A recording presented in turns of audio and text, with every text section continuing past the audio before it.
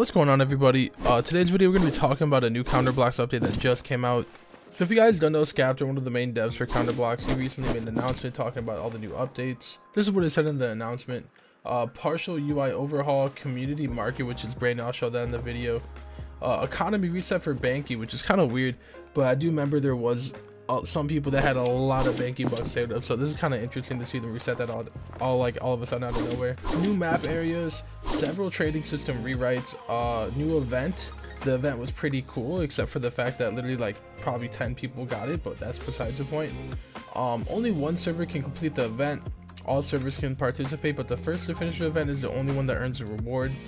You must participate to earn the reward at the end there is a lockout for participating so if you do not like help you're not getting anything steps will take a while to complete yet it got done in like less than an hour so that's whatever um they they increased the player count from 28 to 38 for the event but I'll definitely be showing that in the video if you guys want to check the rest of this out. It's going to be kind of a short video, but still definitely worth talking about.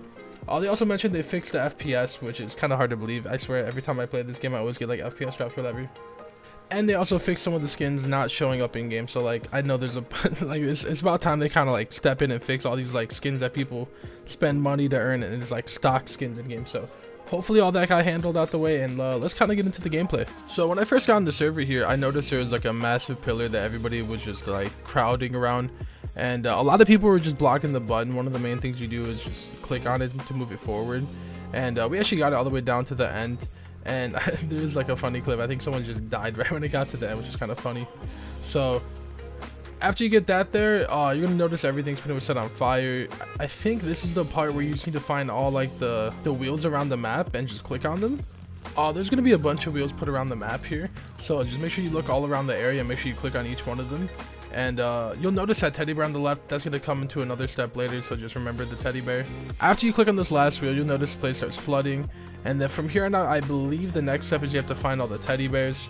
So after this, oh, I'll be honest with y'all, we did not make it very far. Uh, the, the event was already over.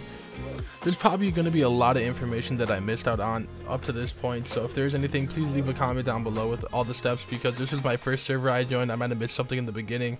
But I do remember there is a part where after you turn the water on, there's like this secret room under that you can push yourself down and there's gonna be like a campfire and I got to this point and I think what was supposed to happen is uh, all around the map in every single parkour area there's a there's gonna be teddy bears like the one I mentioned previously.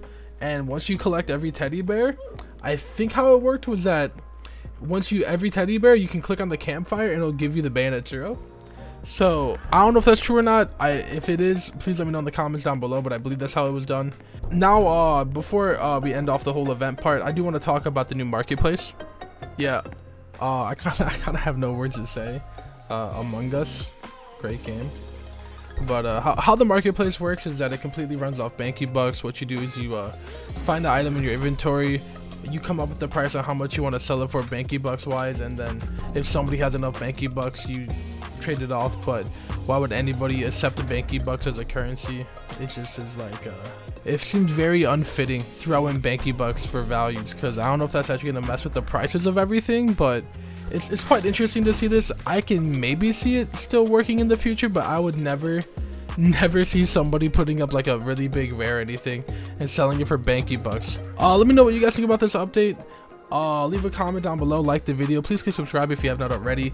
We're trying to hit 100,000 before the year ends, so if you have not, please, please, please click subscribe. I know for some people it even unsubscribes them because YouTube is weird, so please double check that you're subscribed. Uh, make sure to do your homework. I should be done with school soon. Thank you all so much for supporting me. I'm probably going to get back into streaming soon. Kind of big announcement getting off topic, but I do appreciate y'all still sticking with me throughout school, throughout college. So thank you all so much. Make sure to do your homework. Have a blessed day.